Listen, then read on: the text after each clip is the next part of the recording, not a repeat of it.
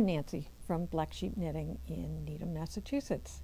I'm um, sitting here amongst a whole bunch of things that are ideas for holiday gifts because this is the time when a lot of us are madly trying to figure out what to get Aunt Norma or you know your son Joe and we're frantic about what can we get them and what can we and what I think is one of the easiest things is to, to make something quickly. Um, but we also have gifts here for your knitting friends or relatives um, that we think would be really nice.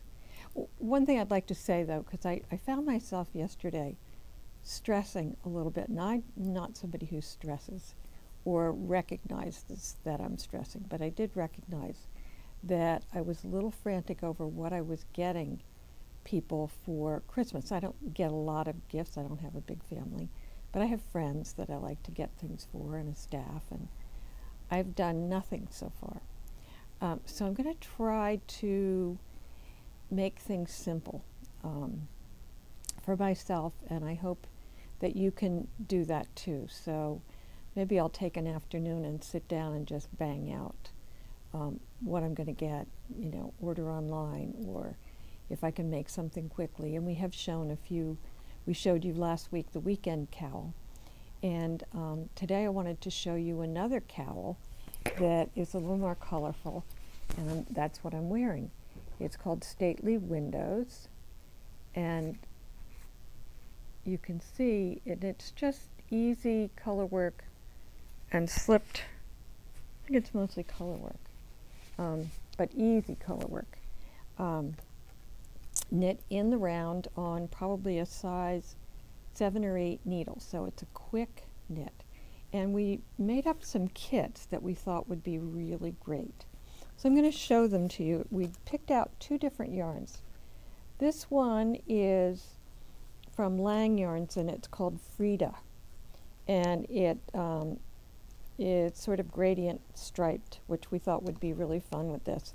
And the solid color with it is um, Rios. So this particular color is called Frida, and we paired it with Sunset from Rios, which is one of my favorites. I just love this. I think that would be really beautiful. Um, the next one I have is from Rios Hollyhock, which is this gorgeous sort of magenta color. And we paired it with um, number, this is called number 13, and it's um, in the Frida. And I think it has a beautiful sort of rainbow co of colors. So I like that one. And I have another one. This is a paler version. I think I'm, um, some of these have different names. Some have names, some don't. This one we called oranges. But again, this is the Frida and it's a um, merino extra fine superwash. So it's super super so soft. It's a single ply and they're 220 meters. So it's a generous amount of yarn. And this is the um, Rios we paired with it is English Rose. So I think that'll be and there's a nice contrast between these colors Another one is called Teals in the Frida. These might be names that we gave them. I don't know for sure. But it has some gorgeous colors and paired it with um, teal feather, which I think is just gorgeous. It's a brilliant, brilliant teal. And then for a more subtle, this could be for a guy, if you know a guy that likes to wear cowls. Cowls are great when you're outside and throw it under your jacket, you know, just wear it when you're um, throwing on your jacket to go somewhere. And it keeps your neck warm and your chest. Um, so, and this one I think would be great for a guy or a gal. This one's called Glitter in the Rios. And this one is Browns. So it's got brown and gray, all kinds of shades of gray and brown. It's very pretty. And finally, um, we have this one we called pinks. It's got lots of pinks in it, and we paired that with magenta, which is an awful lot like the hollyhock. So they're interchangeable, I think. So if we had run out of one, you could pair it with the other. But these kits will be online um, in a day or two. Um, so you'll be able to find them. And probably by the time you see this, they will be online. So those are an idea. We had a wonderful surprise today because I didn't think she was coming until this weekend, but it turned out it was yesterday she came. Our lovely, wonderful Fiola came with lots of goodies. So she has made for holiday shopping tote bags. Look at these. I just, this fabric is so fabulous. And of course, she lines it with a with another fabric, and these beautiful canvas straps. I guess you call them canvas. Um, so we think this. Oh, and it has a pocket on the outside. You could put your phone in there or whatever you'd like. So that's one of the colorways that she has. This is another fabulous bird motif with the, um, this is, is this oiled canvas at the bottom, which gives it extra durability, and another cute inside. But I just think these birds are very special. Again, pocket on the outside. Oh, with a different, haha, different fabric on the inside of the pocket. You can see that. Um, and then we have another one, which I think this is fun. Oh, and the inside of this is fabulous. Sweaters. Look at that.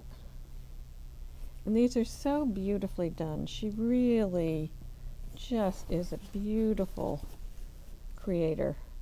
Oh, and this one has sheep in the pocket.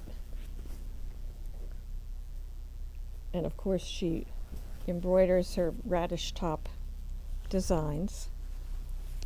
And oh, we've got two, three more. Oh, beautiful. This one is fun with the polka dots.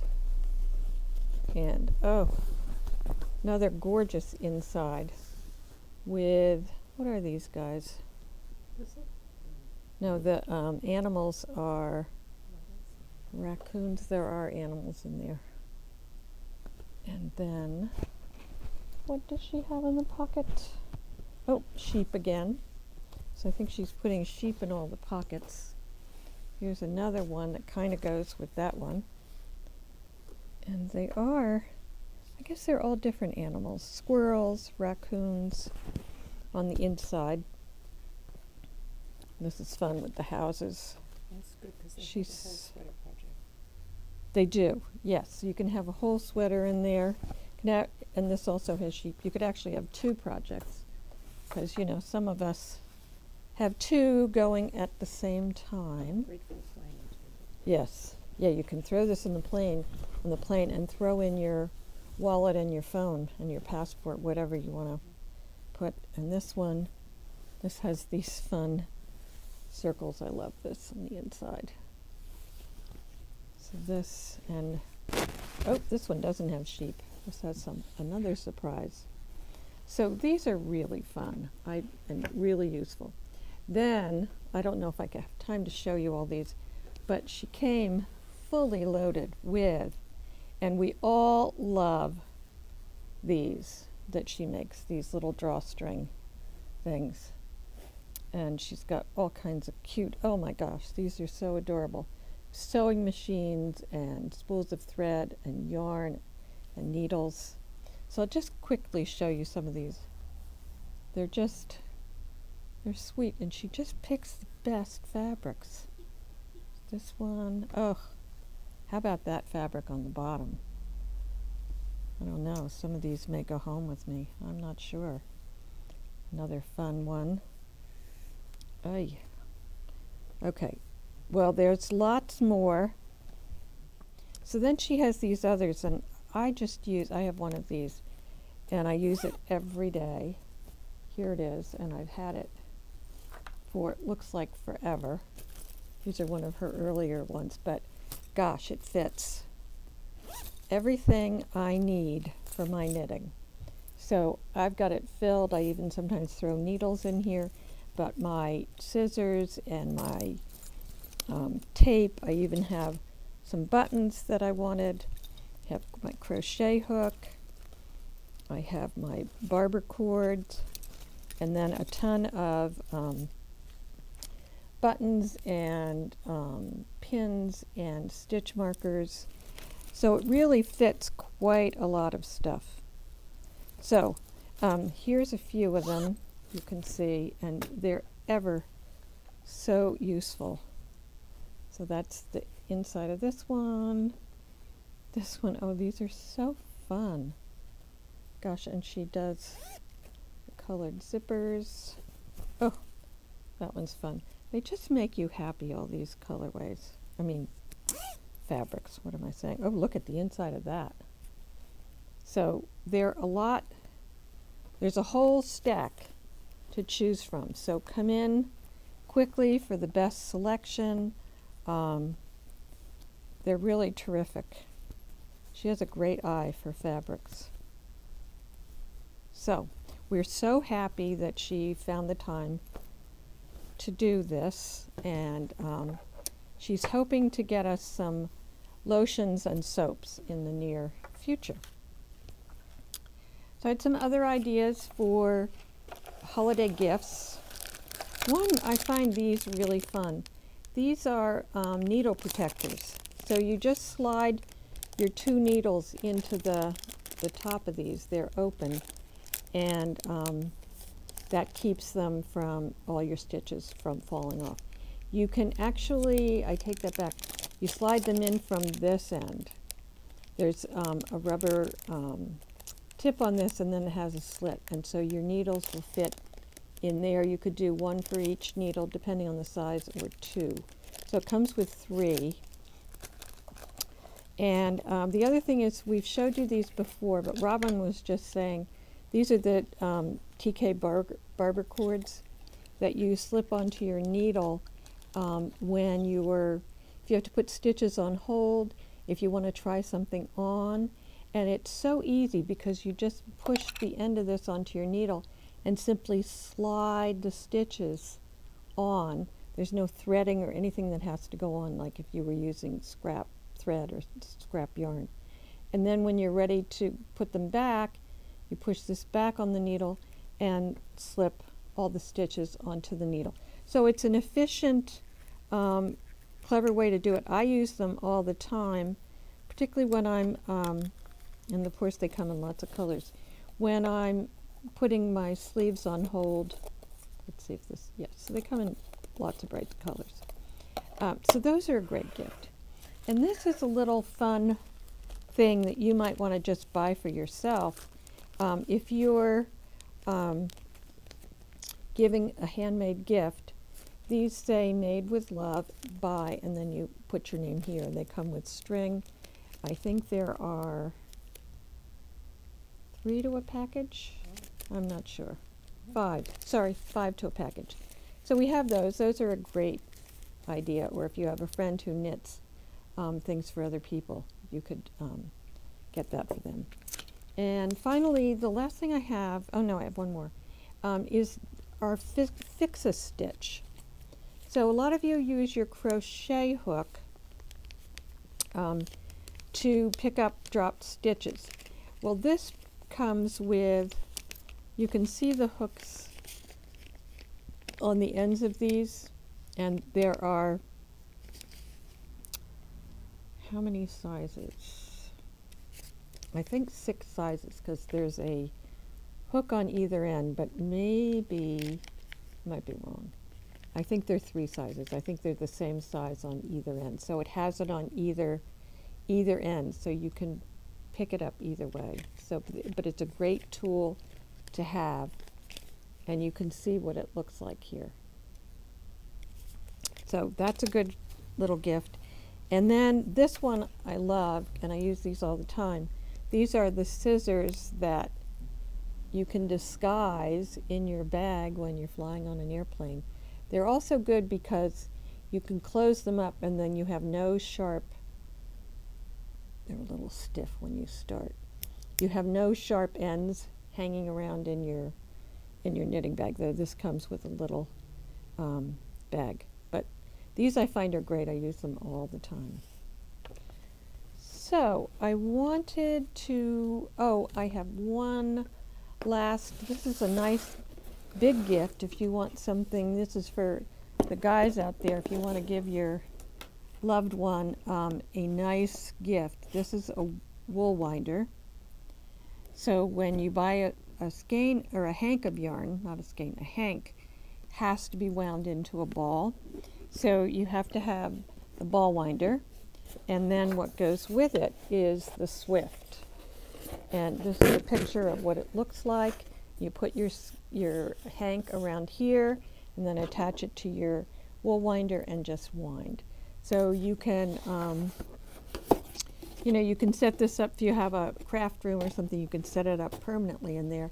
And then, because we don't recommend, if you're doing a project, we don't recommend that you wind all the yarn at once. We usually say do one or two at a time because sometimes you can wind the yarn too tight and if it sits like that for a long period of time, it stretches the yarn a little bit and it can change your gauge. So it, it's a very good idea to just do a few at a time. And then if you have this at home, you don't have to, as I always say, you don't have to get in your car and come to the yarn shop. Of course, we love to have you come to the yarn shop. So it, for us, it's a mixed blessing. But for those of you who like to wind your yarn at home, this is great. And you don't have to employ your significant other or kids to hold their hands up while you wind. I wind around my knees, and I have a wool winder in my basement, and sometimes I'm just too lazy to go down, so I just sit and do it around my knees. Ready to get Right, so those of you who may, those of you who've been sort of following along, this is my Weir sweater, which is made with um, Wool Addict's footprints, which is this, and mohair held together, which, as you can see, um, sort of mutes this um, beautiful yarn. I did it because number one, I didn't want to knit a fingering weight. This is a fingering weight. So when I put mohair with it, I get to a sport or DK, depending. But I'm now on a size 7 needle, and I just love the fuzz on this. So that's what I've been doing, and this sweater was knit in pieces. Well, sort of. A front and a back, and then you picked up stitches around the sleeve, and then you sew the seams. So I've done one side, and this has a high-low seam front and back. And so what I do generally when I do something like this is I start in the armpit and go down, or I go from here to the armpit and um, then go down this way, down the sleeve, or up this way. I don't find that it matters all that much.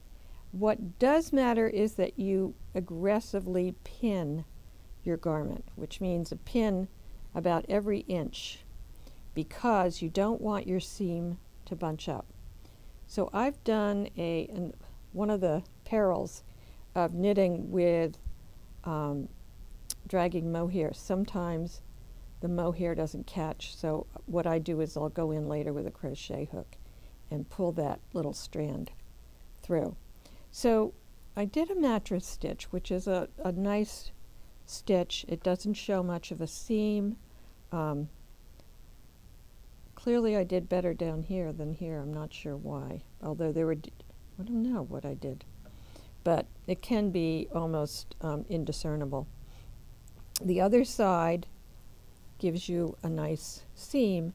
And um, very often I like pieced, um, knitting in the round is wonderful and that's my preferred method. But I do like a particular sweater you know you're going to wear a lot that has is seamed. It gives it a little bit more structure, I think, and wearability. So things don't stretch. Anyway, I wanted to show you, I'm about to do the mattress stitch here. And um, I'm a little tangled at the moment. um, what you can do, and I guess what I did do on this is I did, I left some extra yarn, so I'm going to use that to sew up the seam. So I have my tapestry needle, and I'm going to start. This would be, um, I would have put pins in, and what I recommend doing is pinning it here and here, then in the middle, then in the middle of that, in the middle of that, in the middle of this, and so on.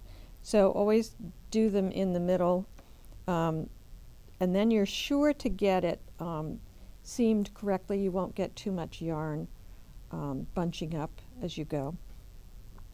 So when you do a mattress stitch, you're going to, and I have this yarn connected over here.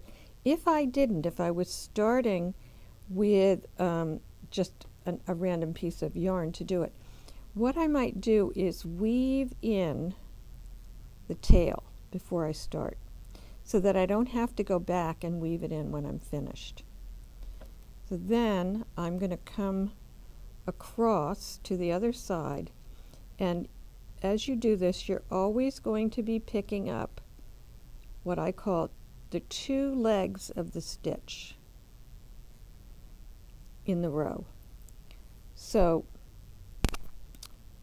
on a seam you don't have to count on what this kind of seam you don't have to count stitches. You don't have to do like three and one or skip three like when you're picking up stitches. So this is just every two. So I come back over into the other side and you and get two bars. You can see two there.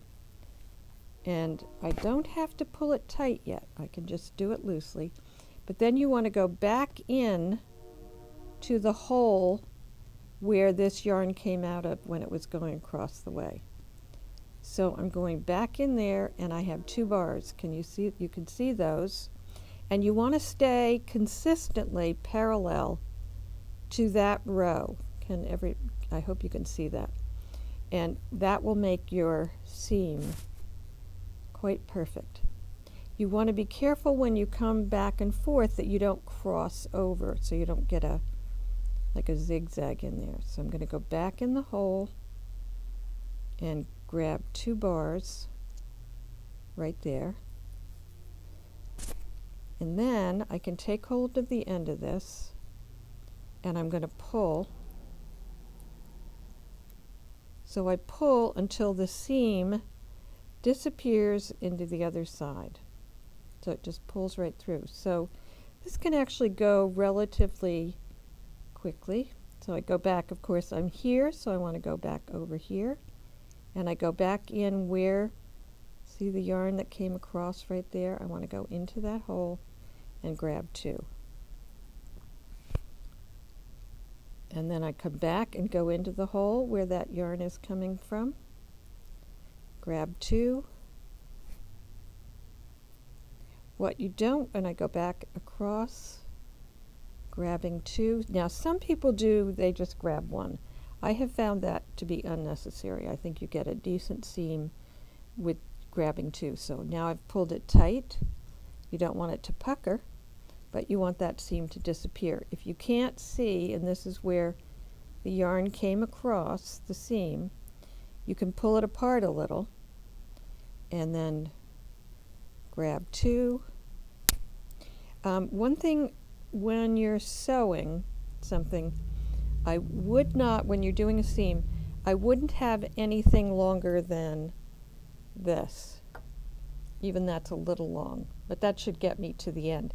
If you have an incredibly long piece of yarn, um, what happens is it tangles, and you'll spend more time tangling, untangling that.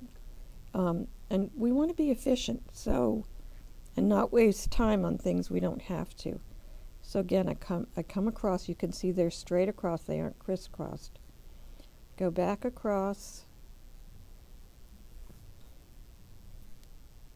and then again I can pull and watch the seam disappear. You don't want puckering, but it does disappear. And I can find where I went across, which is right here, if you're not sure, you can pull on it and you can see. So I go back into that hole and pick up two bars. You want to keep checking. Now, as you go, I would be taking out my pins, obviously, would have been all in across here. And you want your pins to go in, not like this, because that takes up too much space. You want them to go in perpendicular to the horizontal of your seam. Um, and they would be pinned all along and you just take them out as you go. One thing that can happen is one of these sides can get ahead of the other because of pulling, so you want to be sure you pull evenly and that these are even.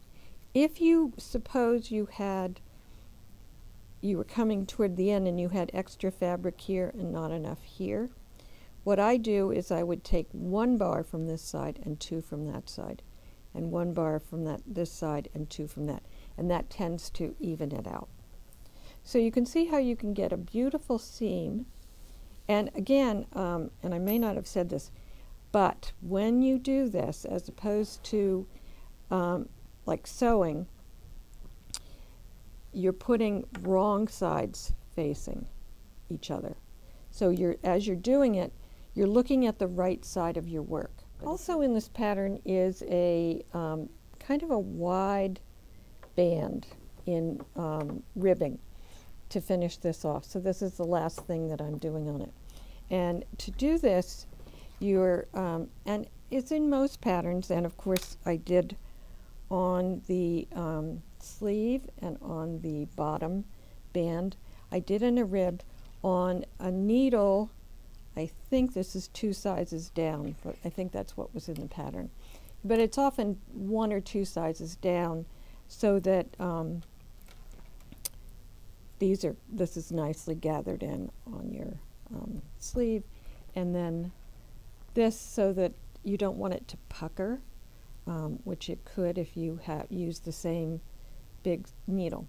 So um, when you're picking up stitches, you need to read closely um, the number of stitches you want to pick up. Say it may start on this neck seam, shoulder seam, and tell you to pick up um, 87 stitches. That's a for instance. So a good idea is to fold this in half and mark the middle. And so you would want 43 stitches on each side and maybe one in the middle. So when you go across, so that it's done evenly, you want to, you could even count, here it's going to be one stitch per row. Here, this is different because these are, well, they are rows, but I don't think you're picking them up at the same rate. And by that I mean sometimes a pattern will tell you um, pick up three stitches, skip one, or pick up five stitch stitches and skip one. You'll never see where you skipped that stitch. It doesn't matter. But I would begin here, and I'll, I'll go back and read my pattern and find out exactly what to do. But when you're picking up stitches, you have to go from the right to the left, picking up, picking around. And you start with your right side facing you. And I'm going to stick my needle in front to back and wrap my yarn around. And pull the yarn through. Then I'm going to go to the next one and pull my yarn through after I wrap and to the next one. So I'm leaving and I'm just, if I do it this way, you're going to see a little bit of the, are these decreases? I think so. As you can see, here they are. Now, as a design um, element, you could leave those. I think I'm going to, or you could pick up below that. But I think that's picking up too far away. So I'm going to far down into the fabric. So I think on this particular pattern, I'm going to leave it. I want to be at the edge. So it's underneath and you have you want two two legs of the stitch each time you pick up. So I'm going along just sticking my needle through from the front to the back and so I'm doing pretty much one stitch per row. And here so those are rows. These are actually you're doing stitches. You're going into a stitch. So here across the back is picking up one per stitch so I do two on the top. So if you look at the top, there are two legs, and you want to do two legs, not one, because it'll be stronger. Now, as I look at this, and I might take this out, because you can see the edges of the stitch there from the um, bind off at the top. I don't know if I want to see that, and I didn't have it here, so I'm going to just take these out, and I'm going to go under I think, all three legs that I see there. So that I, oops. And this is why we knit. You can change things to be the way you want. So just remember, the pattern tells you things, but you're free to, and that's the great part about knitting, is that you can please yourself. You don't have to do exactly what the pattern says if you see something that's better. So you see I like that better. It doesn't show the edge of this stitch. And so I don't want that to be there. This I didn't mind because I thought that was kind of a nice little edge design, but I don't want that all the way across. So I would continue all the way around. Down here, it had me put one stitch on a marker. So I'm not sure what's going to happen when I get there, but I'll do what the pattern tells me. Um, I heard somebody the other day talking about you have to have a little bit of blind faith when you read a pattern. Um, and if you know it's a pattern that a lot of people have done, don't automatically assume because you've read ahead that you don't think something is going to work. If you do exactly what the pattern tells you, um, it should work. If it doesn't work, take it out and try it again.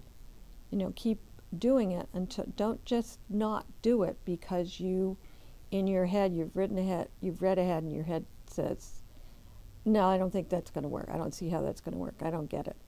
Well you'll get it if you try it. So that that's an important thing. Anyway that's my little pearls of wisdom for today i hope that you're all having a good holiday season, that you're not stressing out about gifts. We gave you lots of choices. If you've got knitters in your life, there are lots of things. You can come in here and we can um, we can put together a nice gift for you for your um, for your favorite knitters. So I hope you have a great week of knitting. Um, come in and shop or shop us online. Be sure to like us on Facebook and subscribe if you can. That helps us. And uh, we'll see you next week. Have a great week. Bye bye.